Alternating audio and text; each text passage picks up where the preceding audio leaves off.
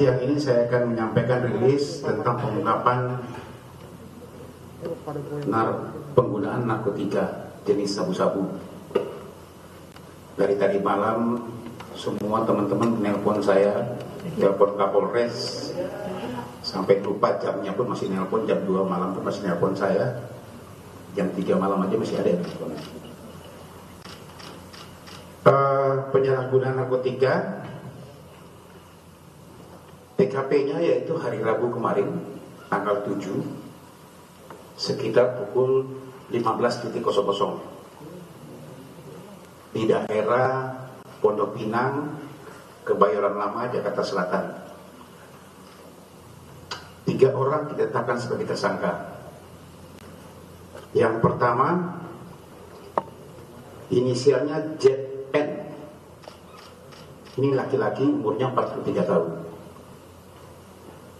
dia adalah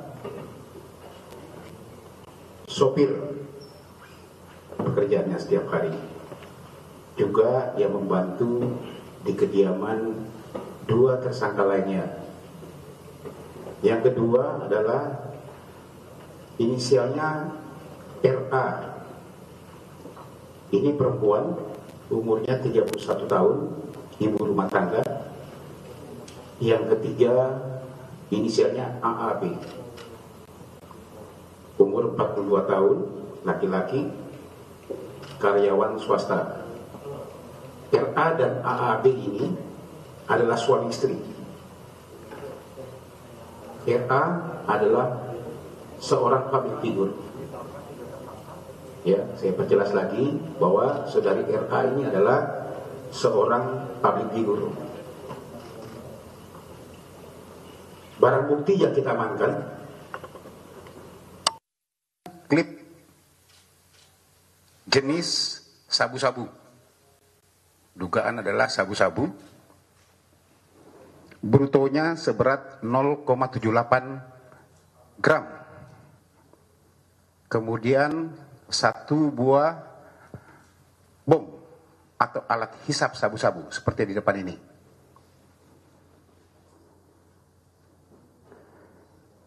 Kronologisnya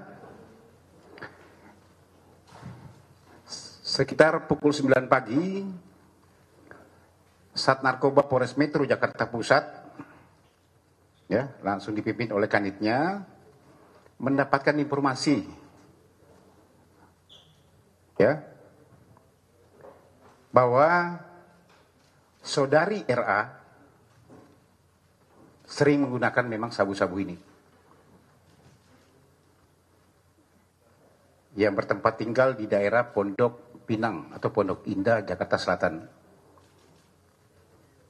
Kemudian dilakukan pendalaman surveillance oleh teman-teman dari Sat Narkoba berhasil mengamankan seorang inisialnya adalah ZN.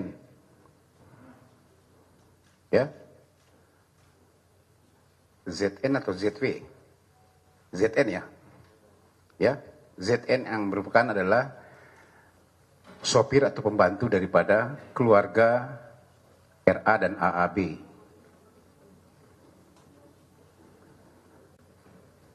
Pada saat dilakukan penggeledahan terhadap saudara ZN ini, ditemukan satu klip narkotika jenis sabu-sabu.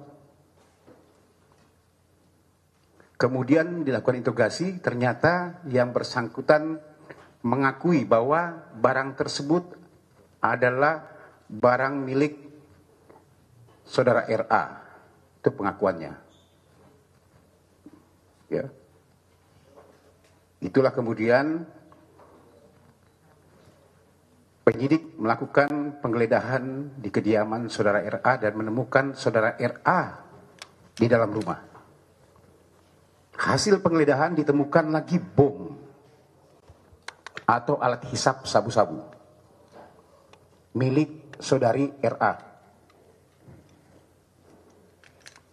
Kemudian dilakukan pendalaman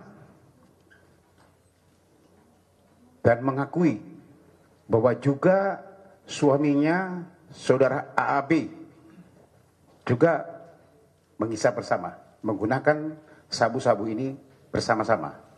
Tetapi pada saat di TKP, saudara AAB tidak ada. Sehingga saudara ZN dan RA dibawa ke Polres Metro Jakarta Pusat.